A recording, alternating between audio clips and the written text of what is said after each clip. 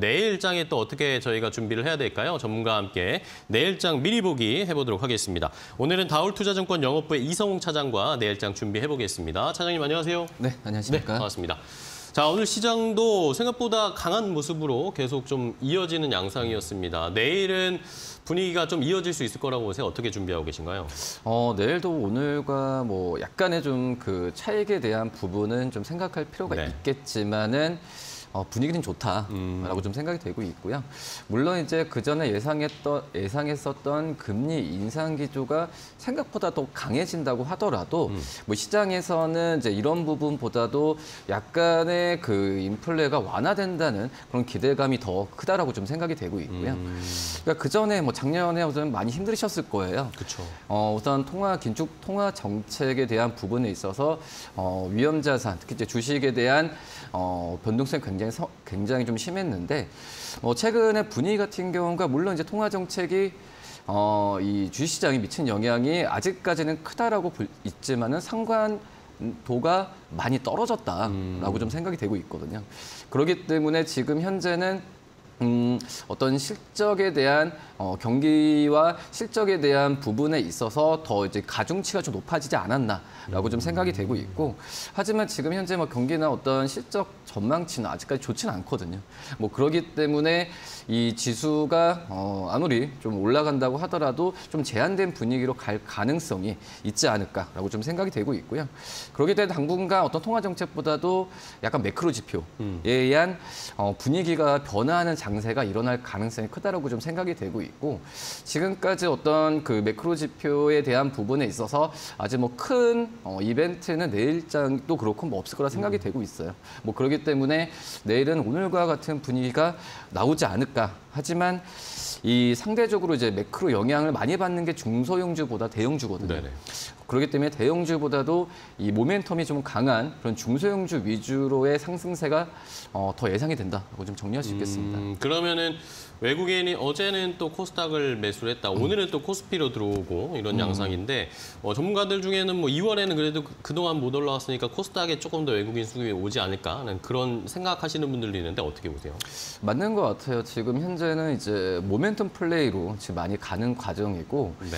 뭐 1월 달에 외국인들이 어, 어떤 코스피를 좀 많이 샀던 이유 중에 하나가 딱히 없어요. 어떤 네. 이 저가 매수라고 음. 좀 생각이 되고 있고 실질적으로 지금 사분기 작년 사분기 실적 발표하는 장세인데 작년 그 1월 달에 외국인들이 가장 많이 샀던 업종이 이제 반도체 네네. 그리고 이제 크게 본다고 한다면 반도체, 화학 이런 업종이거든요. 음. 근데 반도체, 화학 업종이 이 작년 4분기 실적이 좋진 않아요. 근데 네. 이런 점에 샀던 걸 본다고 한다면 단순 어떤 실적에 대한 그 기대감보다도 저가 매수라고 좀 생각이 되고. 있거든요. 예. 근데 말씀드렸다시피 저가 매수 한다고 하더라도 이 실적이 이렇게 추정치가 좋지 않으니까 value가 높다라는 어, 그런 인식이 좀 많이 강하거든요. 네. 그렇기 때문에 오히려 대형주보다는 중소형주 위주로의 어, 2월달 장세가 좀 계속 되지 않을까라고 생각됩니다. 네. 자 그렇다면은 이, 내일 어떤 섹터를 좀 보면은 저희가 좋을까요? 음, 우선 결제 관련주도 좀 관심 있게 어, 봐야 되는데 이번 주부터 이제 애플페이에 대한 얘기가 많이 나오는데요. 그렇죠.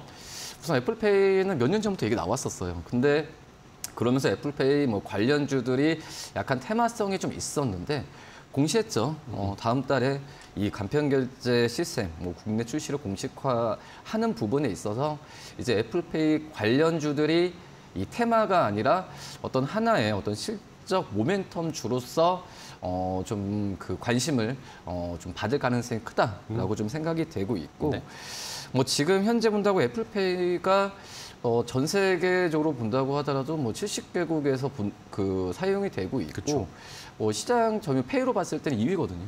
뭐 그런 점에서 보면은 이 애플페이와 어, 관련된 어, 출시됐을 때 본격화될 가능성이 좀 크지 않을까. 그리고 이제 이 어떻게 보면은 이제 앱, 그 전에 뭐 삼성페이 같은 경우에는 어 약간의 그 NFC 쪽이라고 그 어, 그 한다면은 제가 봤을 때도 이, 앱- 이 애플페이 출시됐을 때 오프라인 쪽에서의 그런 그 활성화가 더 많이 될 가능성이 크기 때문에 이 결제 관련주들은 계속 관심 있게 좀 네. 봐야 되지 않을까라고 좀 생각이 됩니다. 네, 알겠습니다. 자, 그럼 내일 저희 결제 관련 테마 관련된 종목들로 잘 살펴보도록 하겠고, 그러면 마지막으로 내일 시장에서 저희가 시초가에 공략해 볼 만한 종목도 하나 골라볼까요? 어, 뭐 결제 관련주 아까 말씀드렸던 뭐 KG 모빌리언스나 이니시스 관심 있게 보시고 음, 음. 그리고 저는 이제 CJ, CGB 어, 예. 좀 한번 좀 관심 있게 좀 봐야 되지 않나로 생각이 되고요. 뭐 주가가 많이 잘 가는 경우도 아니지만은 꾸준하게 지금 어떤 변동성이 붙임없이 좀 가고 있어요. 올라오고 있나요? 음. 뭐 아시다시피 어 지금은 거의 뭐 OTT의 뭐 대세라고 좀 볼 수. 있잖아요. 근데 하지만은 이 대형 스크린에 대한 음, 수요는 지금 꾸준하게 지금 일어나고 있는 상태거든요. 네. 뭐 작년에 본다고 하더라도 뭐 범죄 도시 2나 또 이제 지금도 보- 그 나- 나오고 있는 아바타 2를 본다고 하더라도 관객 수나 이런 점에서 봤을 때 OTT와 별개로 스크린에 대한 수요는 계속 늘어나고 있는 과정으로 가고 있다라고 좀 생각이 좀 되고 있고 뭐 CJ CGV도 참 이제 코로나를 겪은 다음에 어 많이 어떤 그 사업적인 면에서 리뉴얼을 지금 많이 했던 상태거든요. 음, 네. 뭐 리뉴얼이라고 한다면은 어, 어떻게 보면 그 가격, 뭐 티켓 가격도 그렇지만 올라가는 상태라고 좀 볼 수 있겠고, 그리고 어떤 특별관에 대한 부분에 있어서 확충을 하면서 이제 어떤 reopening과 함께 이 스크린 관객에 대한 어떤 그 수요 부분을 그대로 받으면서 실적으로 반영할 가능성이 굉장히 좀 크지 않을까라고 좀 생각이 되고 있고요. 그렇기 때문에 뭐 결론을 본다고 한다면 뭐 작년에 뭐 아바타 2처럼 이제 quality가 높은 뭐 그런 이 영화나 이런 대형 컨텐츠가 개봉을 잘 해야 뭐 CJ CGV도 이런 수요 부분과 사업적 리뉴얼을 실적으로 좀 연결을 시킬 수 있을 거라 좀 판단되고 있는데 네.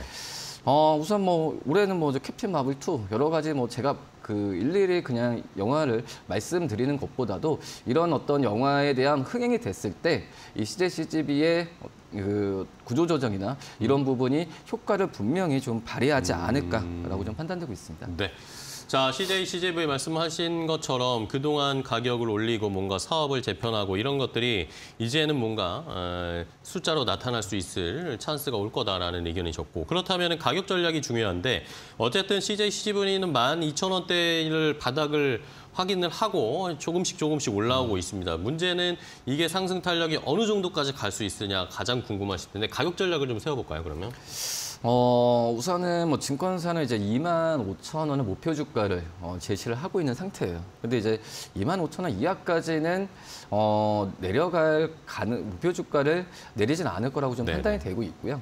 저는 이제 1차적인 부분에 있어서 한 10% 정도로 해서 뭐 2만 2천 원을 좀 말씀을 어. 드리는데 제가 항상 목표가를 말씀드리 항상 말씀드리잖아요. 네.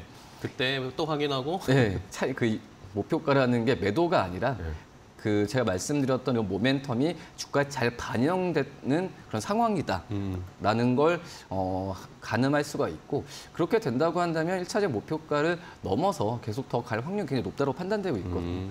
그래서 22,000원 됐을 때는 추가 매수하던가 아니면 꾸준한. 어, 최소한은 보유 관점 하던가 이 부분을 말씀을 드리고요. 그리고 이 손절가는 17,000원 말씀드리도록 하겠습니다. 네, 알겠습니다. 자, CJ, CGV 목표가 1차적으로 일단 2만 2천 원을 세워드렸습니다. 그때까지 좋은 모멘텀으로 올라가게 되면 한 번 더 추가 매수 해 볼 수도 있는 기회가 될 거다라는 의견 주셨으니까요. 내일 시초가에 CJ, CGV 관련해서 전략 잘 세워보시기 바랍니다. 자, 내일장 미리 보기 이성웅 차장과 함께 내일장 준비를 해봤는데요. 오늘도 좋은 전략, 또 좋은 종목도 소개해 주셔서 감사하고 다음 시간에 차장님 또 뵙겠습니다. 고생하셨어요. 네, 감사합니다. 고맙습니다.